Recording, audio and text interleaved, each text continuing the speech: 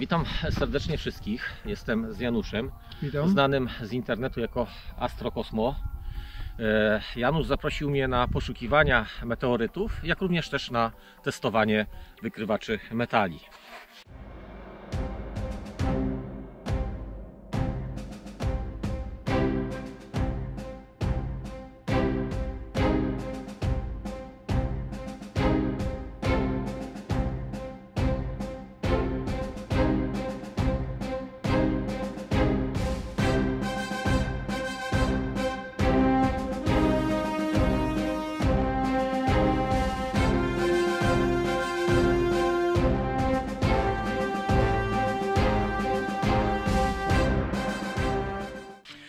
Januszu, powiedz mi, w jakim miejscu się znajdujemy? Jak doszło do tego, że w ogóle e, tutaj spadły te meteoryty? Czy mamy jakąś informację, która e, jakby potwierdza ten fakt?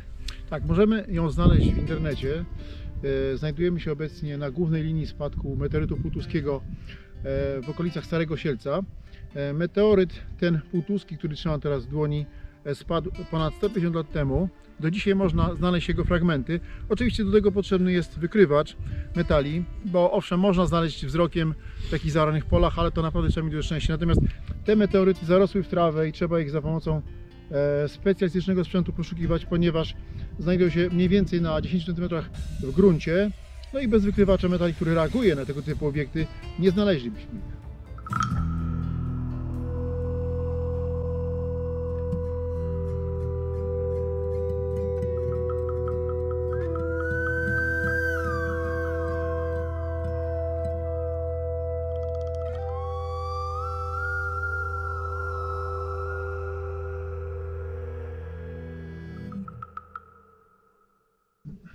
A jak znaleźć meteoryt? Jest jakaś na to rada?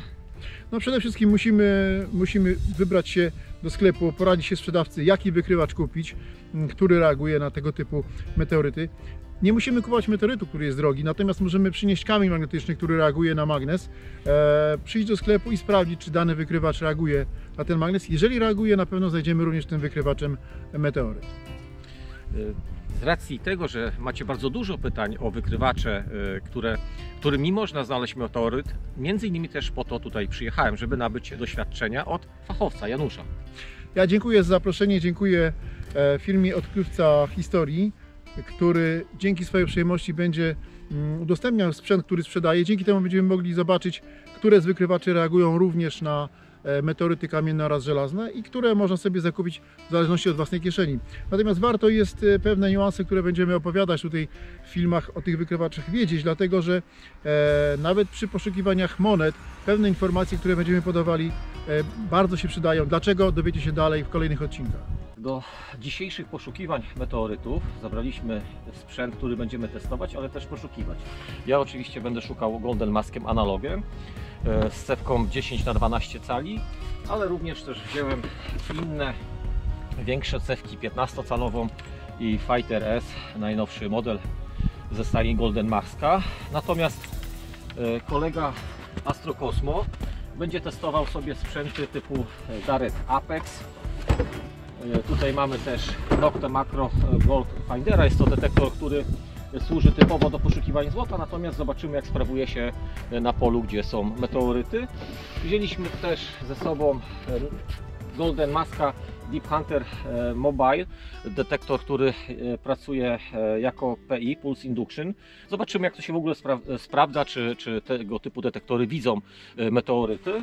Jak również e, Simplexa, tutaj na prośbę Janusza wzięli, wziąłem si- Simplexa, ponieważ e, zawsze chcieliście zobaczyć, czy ten detektor e, też e, potrafi odnaleźć meteoryt.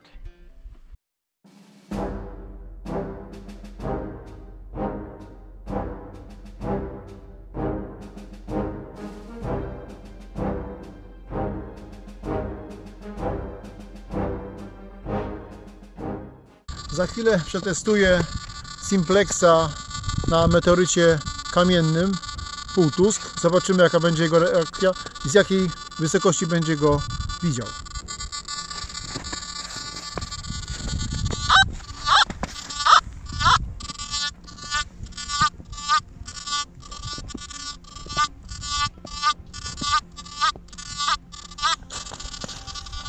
Meteoryt jest dobrze widziany z wysokości 15 cm. Jeżeli będziemy machali 5 cm nad gruntem, to mamy szansę znaleźć taki meteoryt w tym rejonie, który będzie zalegał na 10 cm. Wykrywacz ustawiony jest w almetalu i meteoryt półtusk będzie pokazywał w ID 00.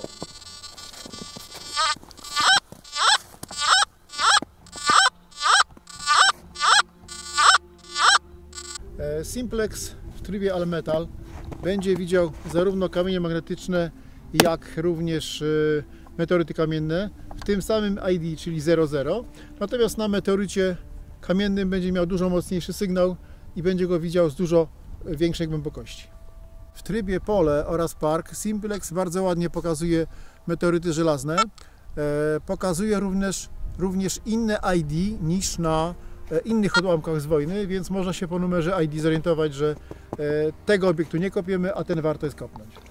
Sygnał dźwiękowy będzie taki sam, natomiast ró- jest różnica w numerze ID. No i tam ma też bardzo ładny zasięg z dość dużej wysokości. W teście powietrznym e, widzi meteoryt żelazny. Za chwilę zaprezentuję. Meteoryt żelazny Morasko.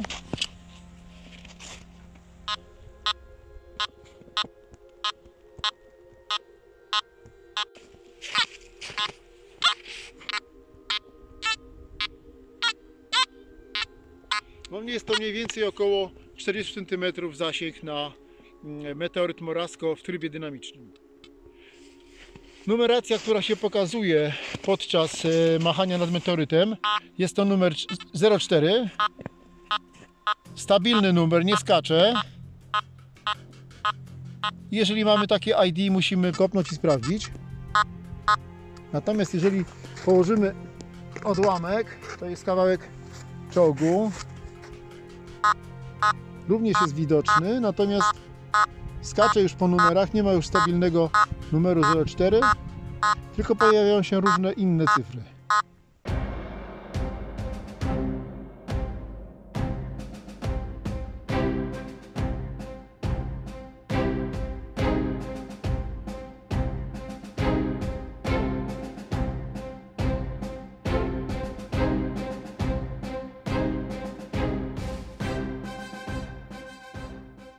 Zaczynamy poszukiwania. Janusz ma metodę po lince, czyli e, jak najdokładniej przeszukać miejsce, gdzie spadały meteoryty. Dokładnie.